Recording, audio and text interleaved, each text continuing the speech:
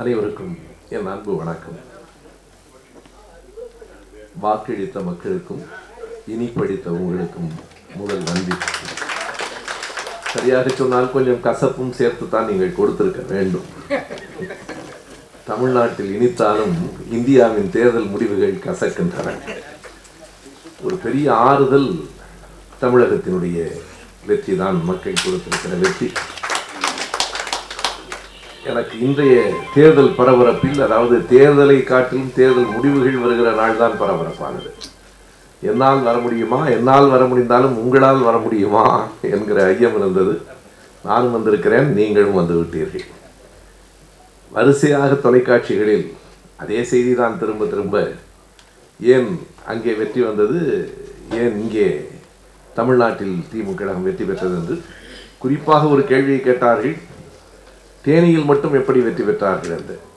கொஞ்சம் நிறைய செலவழித்து விட்டார்கள் கல்வெட்டெல்லாம் வைத்திருக்கிறார்கள் கல்வெட்டுக்கு அவ்வளவு செலவாகுமா என்றார்கள்.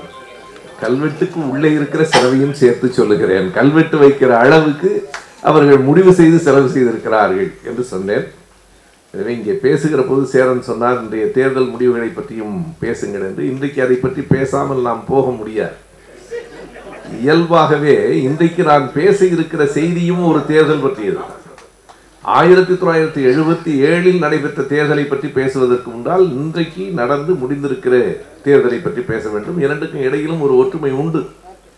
ஆயிரத்தி தொள்ளாயிரத்தி எழுபத்தி ஒன்றில் நடைபெற்ற தேர்தலுக்கும் இந்த தேர்தலுக்கும் கூட பெரியார் திடலில் மிக நெருக்கமான ஒரு ஒற்றுமை உண்டு. எழுபத்தி ஒன்றில் அவர்களுக்கு ராமன் உதவவில்லை. ரெண்டாயிரத்தி பத்தொன்பதில் கிருஷ்ணனும் உதவவில்லை. அதுதான் அடிப்படையான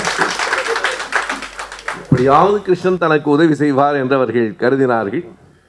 கடைசி வரைக்கும் கிருஷ்ணன் நம்பிக்கை உள்ளவர்கள் மத நம்பிக்கை உள்ளவர்கள் கடவுள் நம்பிக்கை உள்ளவர்கள்தான் தமிழ்நாட்டிலே நமக்கு தெரியும் அதிகம் என்றாலும் அவர்கள் தேர்தல் என்று வருகிற போது அவர்கள் திராவிட இயக்க உணர்வாளர்களாகவே இருக்கிறார்கள் என்பதும் மீண்டும் மீண்டும் இது பெரியார் மண்தான் என்பதும் இந்த தேர்தலில் மெய்ப்பிக்கப்பட்டிருக்கிறது. இங்கே காங்கிரஸ் கட்சி வெற்றி பெற்றிருக்கிறது. அதிமுக வெற்றி பெற்றிருக்கிறது. ஒரு நாளும் தமிழ்நாட்டில் தாமரை மலராது என்பதை மறுபடியும் அழுத்தி சொன்ன தேர்தல் முடிவுகள் என்று இந்த நான் தேர்தலை பார்க்கிறேன். காலையிலே சொல்லுகிற போது எங்கோ கோவையில் ஒரு இடத்தில் அப்படி காவி தெரிகிற மாதிரி இருந்தது.